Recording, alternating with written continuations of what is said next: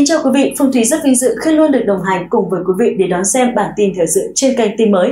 Bản tin cập nhật những tin tức nóng nhất, chính xác nhất về tình hình an ninh trật tự đã diễn ra trong ngày và ngay sau đây là những tin chính có trong chương trình.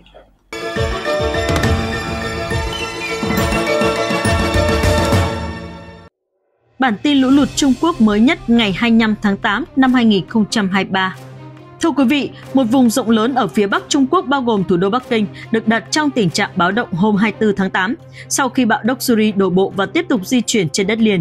Bão Doksuri đổ bộ vào tỉnh Phúc Kiến ở miền Nam Trung Quốc vào dạng sáng ngày 24 tháng 8 với sức gió lên tới 175 km/h. Sau khi đổ bộ, bão tiếp tục di chuyển về hướng Bắc nhưng đã suy yếu thành áp thấp nhiệt đới.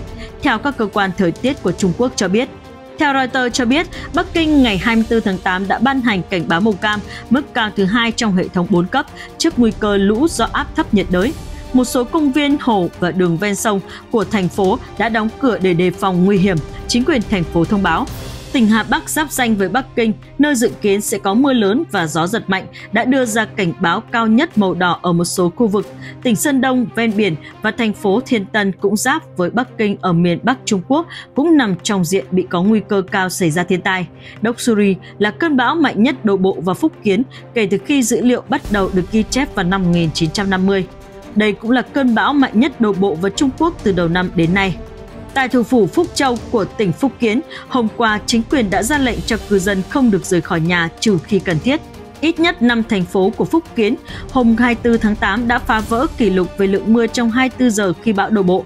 Bão Doksuri đã gây ra lở đất và lũ lụt, làm thiệt mạng ít nhất 13 người ở Philippines trước khi di chuyển theo hướng Tây Bắc đến Trung Quốc. Trung Quốc đã chứng kiến thời tiết khắc nghiệt với nhiệt độ tăng cao kỷ lục vào mùa hè này, tình trạng mà các nhà khoa học cho rằng đang trở nên trầm trọng hơn do biến đổi khí hậu. Vào đầu tháng 7, Bắc Kinh và khu vực xung quanh đã phá kỷ lục về nhiệt độ với nền nhiệt vượt quá 40 độ C. Siêu bão Doksuri đổ bộ vào miền Nam Trung Quốc đại lục ngày 24 tháng 8, mang theo mưa lớn và sức gió giật đủ sức hủy hoại các lưới điện, gây ra những vụ hỏa hoạn, nhổ bật cây cối và xé toạc một phần mái của sân vận động. Siêu bão Doksuri là bão mạnh nhất đổ bộ vào đất liền Trung Quốc trong năm nay và là cơn bão mạnh thứ hai từng ập vào tỉnh Phúc Kiến kể từ bão Meranti vào năm 2016. Theo Tân Hoa Xã, siêu bão gây ảnh hưởng hơn 724.600 người, trong đó có 124.400 người phải sơ tán và gây thiệt hại kinh tế trực tiếp lên đến 52,27 triệu nhân dân tệ, khoảng 173 tỷ đồng. Ở thành phố cảng Tuyền Châu của Phúc Kiến, 39 người bị thương nhẹ do ảnh hưởng của bão và hơn 500.000 hộ gia đình mất điện. Phần mái của sân vận động ở trung tâm thành phố Tuyền Châu bị xé toạc, khiến những mảnh vụn kính thủy tinh và các thanh kim loại rơi vãi khắp nơi. Còn ở thành phố Hạ Môn, cả đô thị lầm vào tình trạng đóng băng ngày hôm 23 tháng 8 bị bão ập đến. Theo Reuters dẫn lời một cư dân họ Trang, đường xá vắng bóng xe cộ, các nhà máy ở trung tâm mua sắm đều đóng cửa theo người này cho biết, những video clip trên mạng xã hội cho thấy các đường dây điện nổ tung trong lúc bão tố quét qua Tấn Giang, thành phố khoảng 2 triệu dân.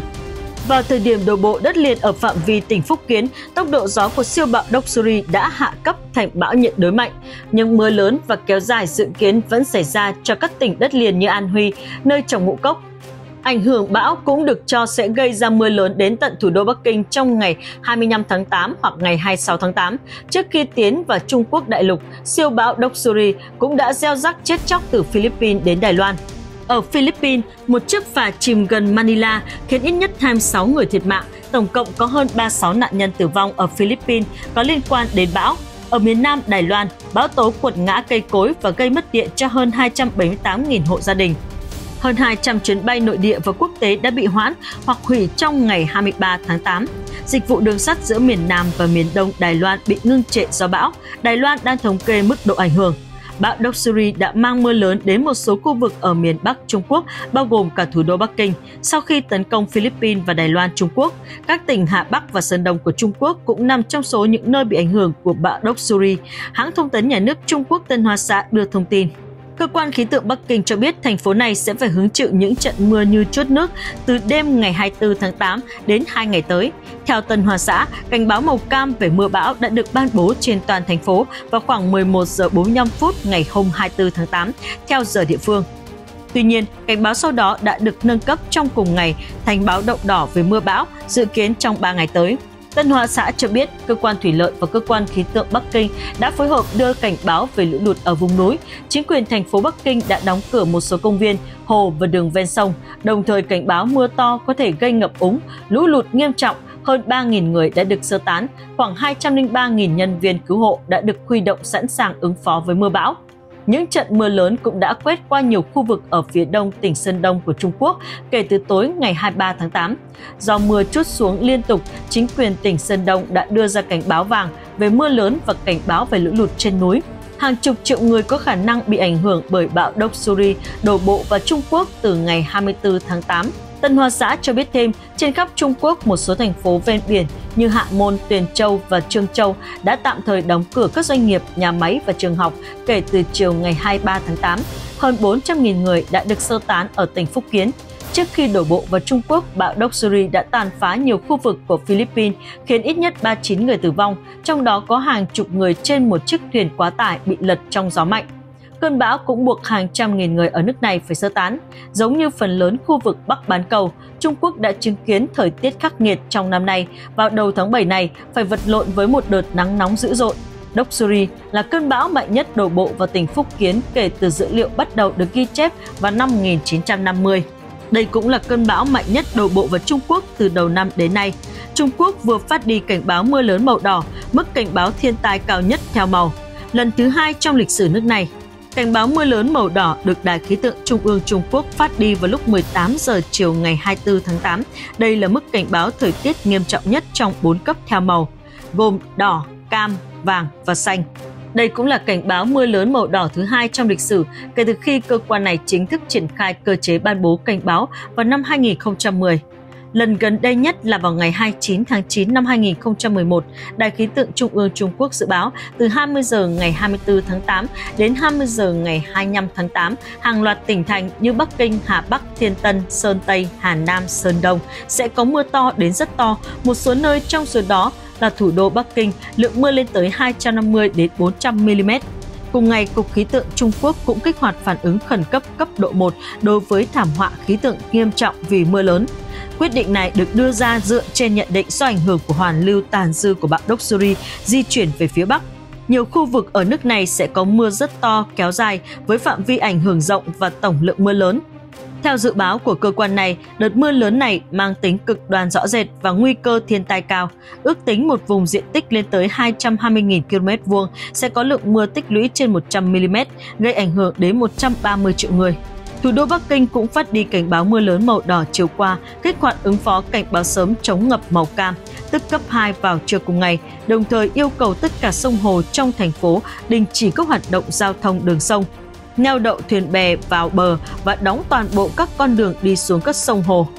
Tính đến sáng ngày 24 tháng 8, bão Doksuri đã gây ảnh hưởng tới hơn 880.000 người ở tỉnh Phúc Kiến, thiệt hại kinh tế trực tiếp lên đến gần 430 triệu nhân dân tệ, gần 60 triệu đô la Mỹ. Lượng mưa đo được tại 6 trạm quan trắc trong tỉnh đều phá kỷ lục kể từ năm 1961, trong đó Phủ Điền phá kỷ lục về lượng mưa trong ngày trên toàn tỉnh. Doksuri đã trở thành cơn bão mạnh nhất đổ bộ vào Trung Quốc trong năm nay và cũng là cơn bão mạnh thứ hai đổ bộ vào Phúc Kiến kể từ khi tỉnh này có các ghi chép về khí tượng. Hiện tình hình chống lũ tại đây được đánh giá là không mấy khả quan.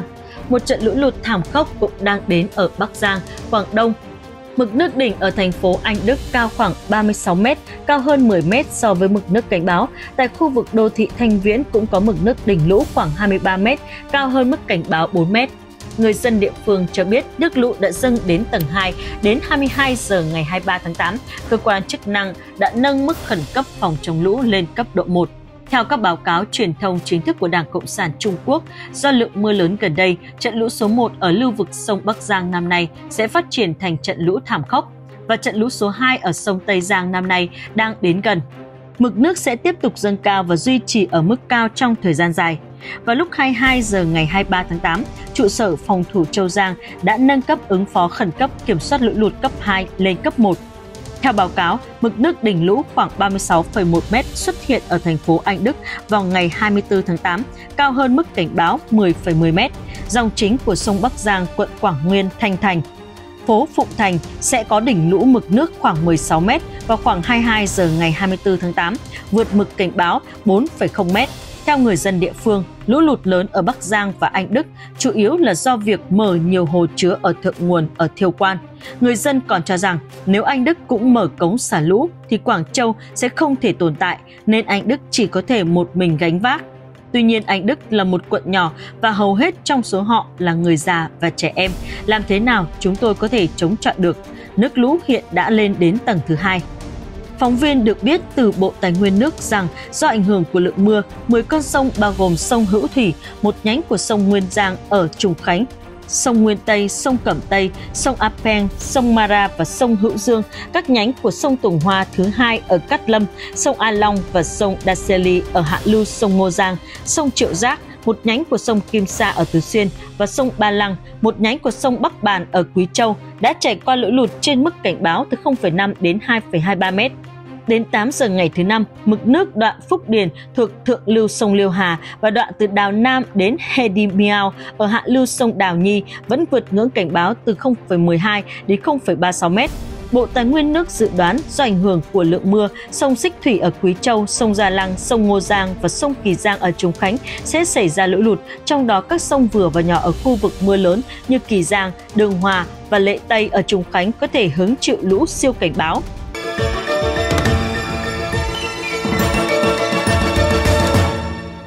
Vừa rồi là những thông tin mới nhất mà chúng tôi mới cập nhật. Quý vị và các bạn cũng đừng quên đăng ký kênh và ấn vào nút chuông để nhận những thông tin mới nhất về video của chúng tôi.